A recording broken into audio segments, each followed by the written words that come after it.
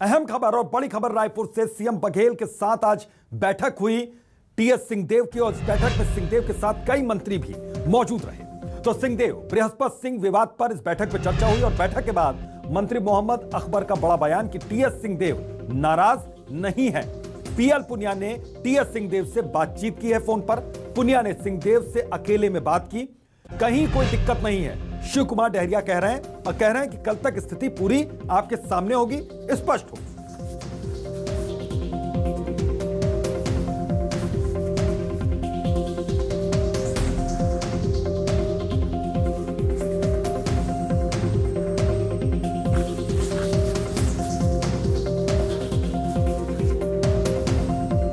जैसी परिस्थिति रहेगी उस हिसाब से। आला कमान से ही बात हुई होगी। सर नहीं मेरी बात सर अभी जो बात हुई आपको लेकर को बात हुई सर बैकपैक को लाओ बैकपैक को अभी जो बात भूपेश भाई की भी बात हुई पुनिया जी से भी साथ में हम लोग थे तो उनसे भी बात को सर जानकारियाँ रहती हैं। मीटिंग में क्या हुआ? मीटिंग में क्या हुआ सर? मीटिंग में चर्चा हुई। सर मीटिंग में क्या हुआ सर चर्चा हुई। सर चर्चा से आप संतुष्ट हैं कि नहीं? माने या नहीं? महाराज और चर्चा माने या नहीं? परिणाम पे सब निर्भर करता है। अच्छा परिणाम के चर्चा की परिणाम मामला कुछ है ही नहीं। जिस तरीके से जो प्रचारित किया जा रहा है ना उस टाइप की कोई बात नहीं है। उनको सूचना दी गई और वो आ गए। आपस में मिलजुल के बैठक हुई बातचीत हुई। और अन्य मामले भी थे जिसके बारे में चर्चा हुई। ये ये कहा है कि जो सदन में मेरा स्टैंड था मैं उस पर कायम हूँ। सरकार अभी जब मंत्रिमंडल के आप लोग की बैठक हुई थी उस पर कोई बात हुई क्या? देखो ये औपचारिक बैठक थी मंत्रिमंडल की बैठक नहीं थी। इस औपचारिक और दूसरे अन्य अन्य विषयों में भी बहुत सारी बातचीत हुई है। लेकिन फ़िलहाल ऐसी कोई बात नहीं है कि वो नाराज़ है। चर्चा हो गई है उसका अच्छे से निराकरण हो गया है और कल उसका परिणाम आ जाएगा दिखेगा आपको। नहीं लेकिन टीएस सिंह तो बैठक के बाद कह रहे हैं कि पहले का जो स्टैंड कायम है। चलिए ठीक है महाराज जी कल आपको बताएँगे। अच्छा पीएल पुनिया जी को बातचीत करनी पड़ी। पीएल पुनिया ने बातचीत की। तो रायपुर से इस वक्त की अहम खबर और बड़ी खबर है कि टीएस सिंहदेव के निवास पर इस वक्त बैठकों का दौर जारी है। अपने समर्थकों के साथ वो बैठक कर रहे हैं। टीएस सिंहदेव के साथ कई विधायक भी मौजूद हैं। विधायक छन्नी साहू, विधायक शैलेश पांडे, विधायक अंबिका सिंह देव भी मौजूद हैं इस वक्त उनके आवास पर। और वैभव शिव पांडे हमारे सहयोगी इस वक्त मौजूद हैं, वहीं पर टीएस सिंहदेव के आवास के बाहर।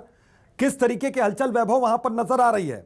क्योंकि कई विधायक वहाँ पर पहुँचे हुए हैं और सीएम से मुलाकात के बाद जब टीएस सिंहदेव वहाँ पर पहुँचे हैं, उसके बाद आप कह रहे हैं कि आवाजाही यहाँ पर बढ़ी है, हलचल यहाँ पर बढ़ी है।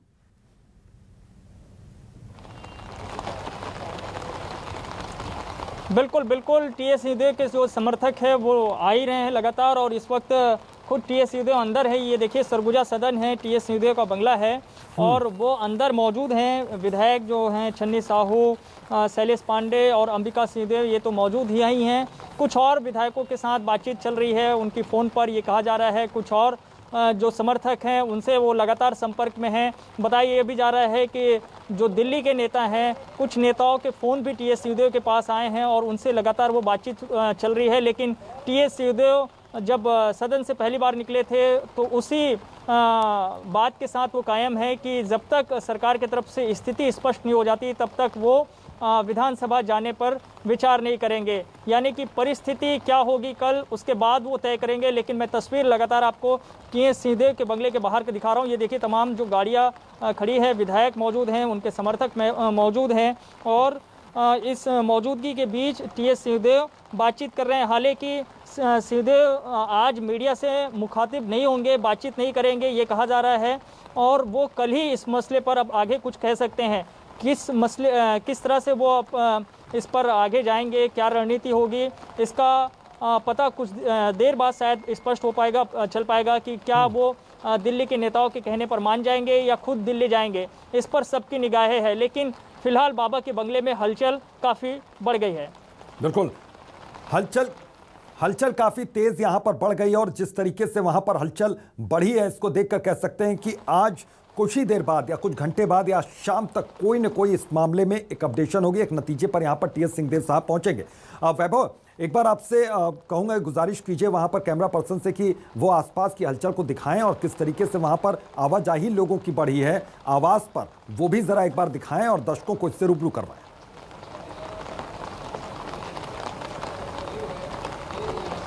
बिल्कुल बिल्कुल, मैं सीधी तस्वीर आपको दिखा रहा हूँ। ये देखिए, ये सरगुजा सदन है।